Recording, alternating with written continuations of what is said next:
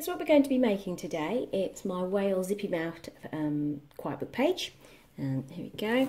His mouth unzips and it's like a little pocket where you could put all your little fishy friends. Okay, so let's get cutting out our pieces.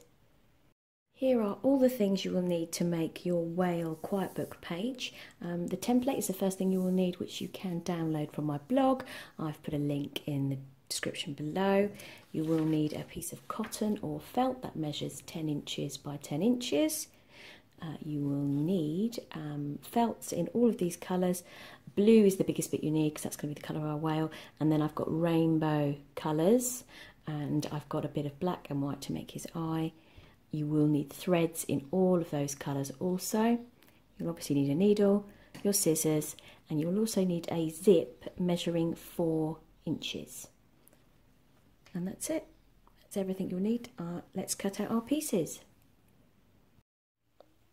Okay, so I've cut out all the pieces for my whale quiet book page. Um, I've cut out the colours um, so they are rainbow colours. Um, so I've got kind of two of this fish, two of this fish, two of this fish, but they're kind of different colours, so I've got the colours of the rainbow.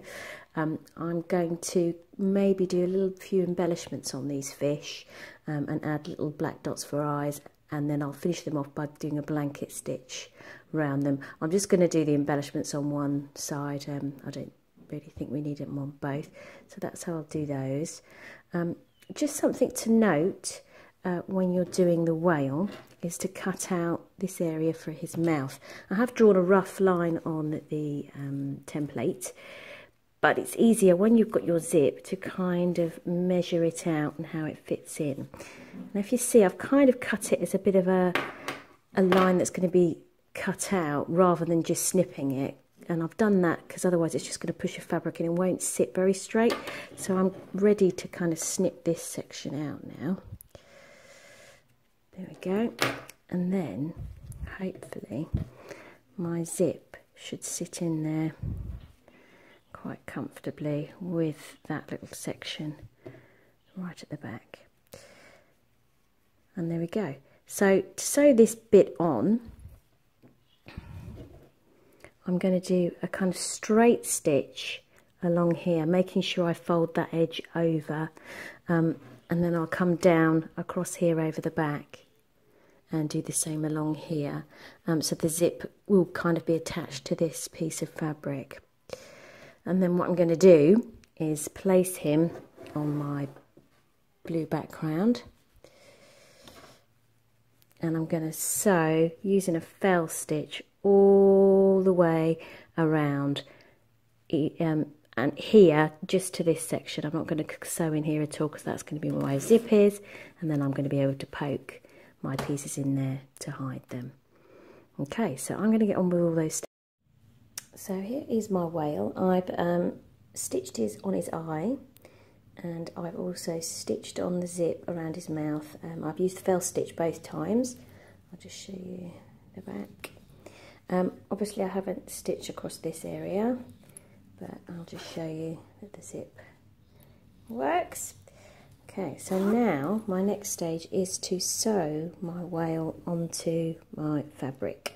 So I'm going to be doing that using a fell stitch all the way around his tail, up his back and down here. I'm going to leave this little section here free so we can have our opening to stuff in our fish. So I will get on with that now. I have my whale all sewn down now uh, and I've started to work on my fish. Um, so what I've been doing is sewing on some eyes and some mouth and putting a few uh, embellishments on them and then I'll be ready to do what I've done on this one is go around with a um, blanket stitch just to tie in all those edges. just kind of show you what I've done on each of them. And this one, you see I've done a fell stitch to sew on his little flipper and there we go.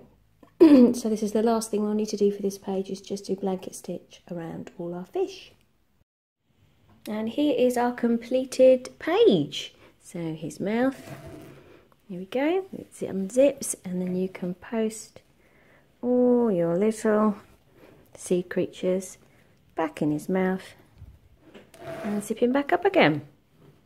there we go, a whale zippy mouthed quiet book page. Thanks for watching.